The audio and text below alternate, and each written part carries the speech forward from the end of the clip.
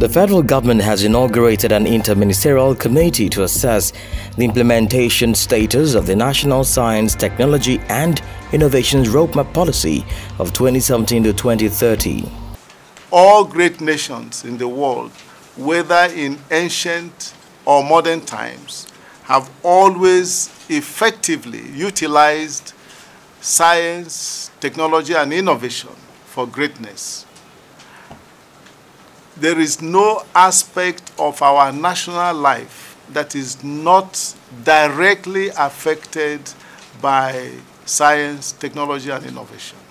The NSTIR 2030 has been developed after a detailed review of Nigeria's challenges and opportunities since independence in 1960.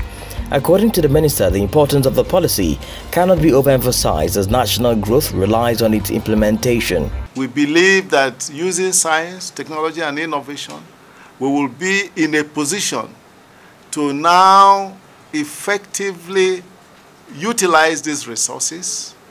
One, to create jobs for Nigerians.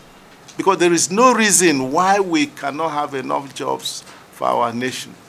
There is no reason whatsoever. With the abundance of natural resources and the intelligence of Nigerians, we should be able to create enough jobs for all Nigerians willing to work. We should also be in a position to use science, technology, and innovation to create wealth for the nation, to grow our gross domestic product.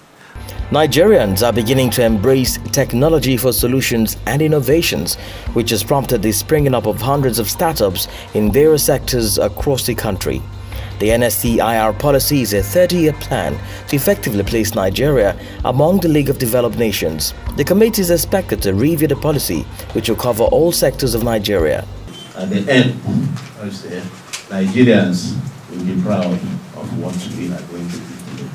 Nigeria's government plans to make technology a major revenue earner by 2030 and the NSTIR policy will serve as a platform to that achievement. Itogi Moore, Edet Roots TV Nigeria.